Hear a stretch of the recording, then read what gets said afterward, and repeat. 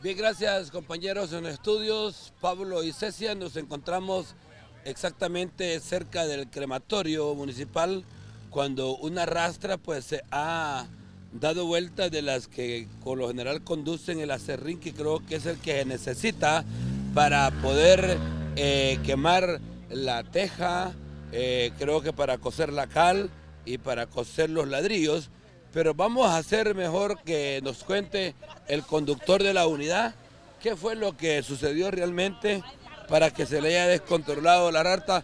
Caballero, buenas noches. Cuéntenos qué fue lo que le pasó realmente a la rastra para que se le haya dado eh, vuelta de un lado. No, es que... Eh, bueno, aquí una cosa que fea y la vuelta es fea aquí, ¿va? Y y, y la arrastra de dos ejes. Eso es, sí, por ojo que dio vuelta. Venía sobrecargada entonces prácticamente ella y por eso se dio vuelta. Mm, no creo, yo creo que es.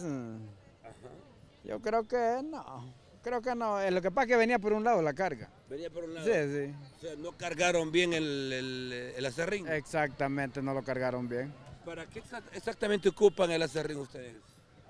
No, no, el acerrín eh, se ocupa para, para, para hacer electricidad y para, eh, para tela, todo eso, solo es para, para, para hornos, ¿va? Para hornos. Sí, sí, así es. Pero gracias a Dios no hay pérdidas humanas, todo de material. Solo material.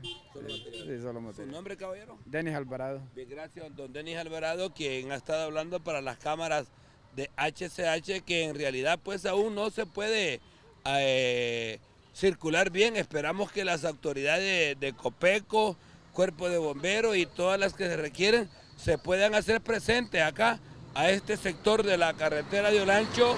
Exactamente estamos cerca del crematorio en este lugar. Con este contacto en vivo del lugar de los hechos, regresamos con ustedes compañeros a los estudios principales.